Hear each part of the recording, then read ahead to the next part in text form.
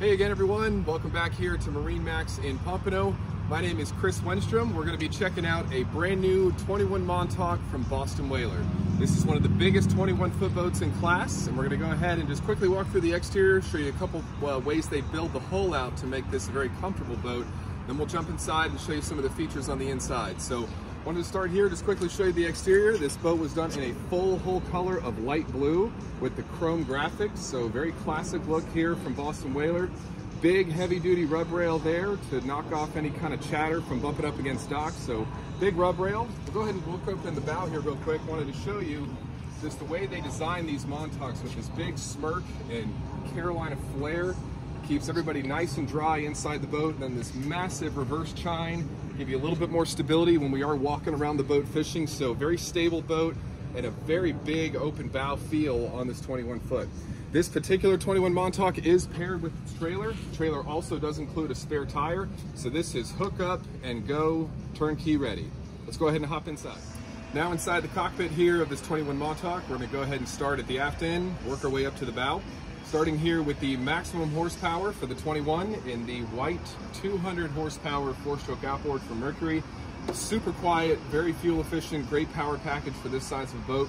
This boat was also fitted with the teak package, which gives you a splash of teak there on your reboarding ladder and step.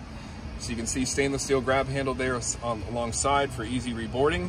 And it also gives you a splash of teak here on the gunnel side. So if you're gonna be boarding from a dock, great place to be able to board the boat from and an extra little added touch of class there in the teak package. So staying here on the aft as you can see, I do have two flip up, flip down jump seats that lock in place with a stainless steel latch. Nice non-skid tread here on top if we did want to do some fishing back here, keep it from slipping.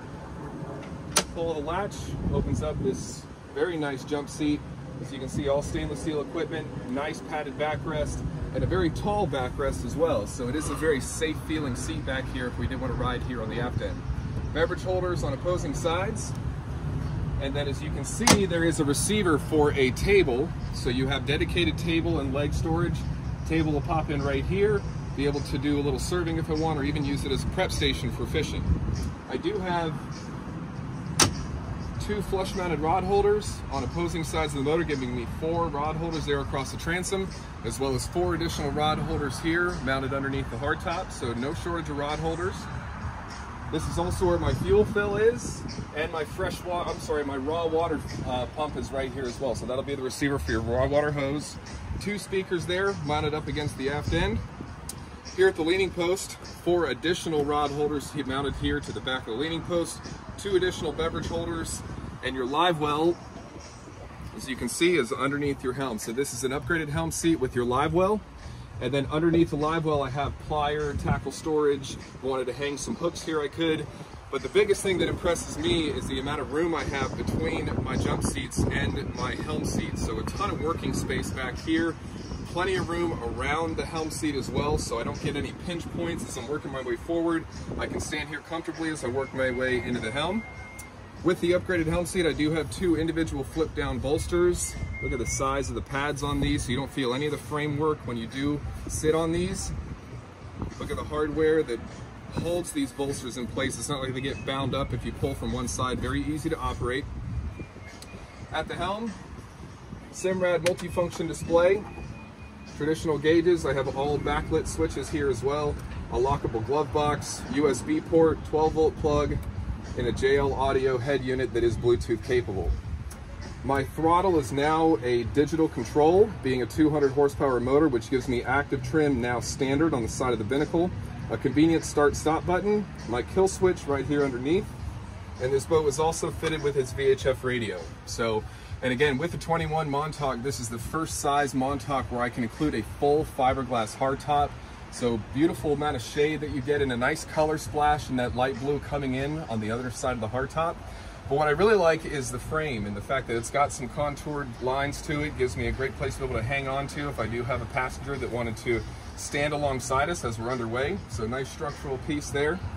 Working our way on the starboard side of the console, I do have access down into my storage compartment underneath my console, which gives me my pump out head and also dedicated table storage. But as you can see, even in a 21 foot boat, they relief the edge of my walkway just to give me a little bit more room to walk in. Storage underneath. And this is actually lockable as well. So if I wanted to put any belongings in there, if we were going out to dinner, I could lock everything away on the side of the console. Again, tremendous amount of room as I walk up into the bow. Plenty of visibility looking out through the windshield. As you can see, no crossbars, plenty of visibility as I am looking forward, which will bring me up into my bow seating arrangement. I do have a cooler seat. This is an upgraded cooler seat, being an igloo cooler with tie downs. So this is a nice place to uh, relax, take in the view. These cushions up front are removable, which does expose my non-skid decking up front here. So if we are gonna have a day of fishing, I can remove these cushions and look at the amount of casting space I have up front here. So this is also plugged for its trolling motor already. So this is all the wiring, all necessary components for your trolling motor. Just need to decide which one you want. But not only is the casting platform big, but also the way that this gunnel gives me an additional casting platform up in the front. So I can actually stand up front and I have plenty of room up here as well. If I was throwing a cast net, plenty of room and visibility to be able to uh, pitch a net. Four additional rod holders mounted here, two on opposing sides, two additional beverage holders, nice low profile stainless grab handle as well. My first compartment is going to be a completely finished out and insulated fish box. Gas assisted strut mounted right in the center so I don't have to worry about this getting pinched on one hinge or another. A gasket that runs all the way underneath to keep water intrusion out. And the nice thing about this fish box is it does drain directly overboard. So there's a drain and that'll come plugged if I wanted to fill this with ice pull the drain, drains directly overboard, not going down into the bilge. Forward is gonna be my designated anchor locker. Nice finished out underneath side of the hatch, additional gas assisted strut. My anchor locker will also drain directly overboard. I've got a tie off cleat and then access for my ground tackle to be able to tie off to this main cleat. And then up in the very front, as you can see, very interesting design in this forward forward cleat here and what that does is it allows your anchor rope to slide alongside and not be causing any wear and tear on any equipment up here. So nice thought and that stainless steel piece to be able to guide your, your anchor line out. So as you see folks, an absolutely massive 21 foot fishing boat here in the 21 Montauk. Would love to have you stop by MarineMax here in Pompano and take a look at this beautiful fishing boat with me. Again, my name is Chris Wenstrom here. You can contact me on my cell phone, 727 460 4175. Thank you.